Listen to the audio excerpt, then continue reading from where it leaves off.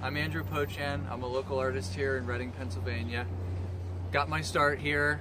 Um, everything that uh, we have here in West Reading is done by artists and run by artists, and um, it's a great place to be.